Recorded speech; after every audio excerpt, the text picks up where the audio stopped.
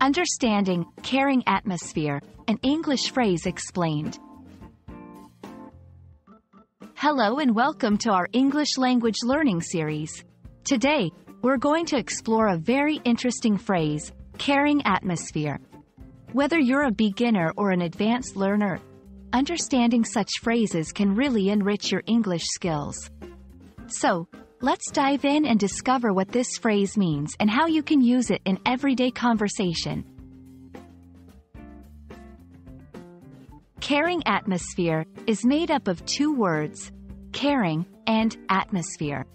First, let's understand these words individually. Caring refers to displaying kindness and concern for others.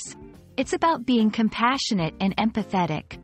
On the other hand, an atmosphere is the feeling or mood in a particular place or situation. It's like the emotional air that surrounds us.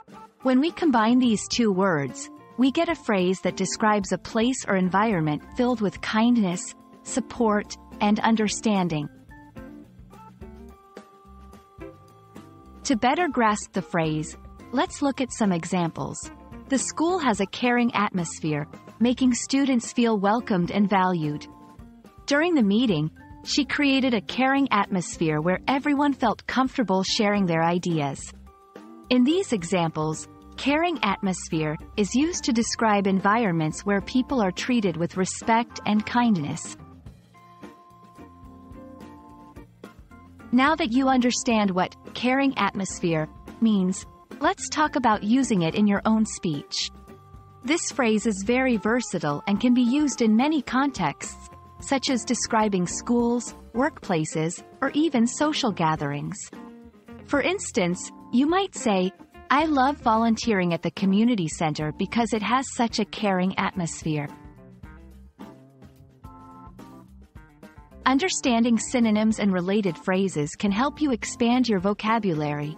Similar phrases to caring atmosphere include nurturing environment, supportive setting, compassionate climate. Each of these phrases carries a similar meaning but might be used in slightly different contexts. We hope this video has helped you understand what caring atmosphere means and how you can use it in your English conversations. Remember, learning phrases like this not only improves your language skills but also helps you better express emotions and ideas. Thank you for watching, and keep practicing your English.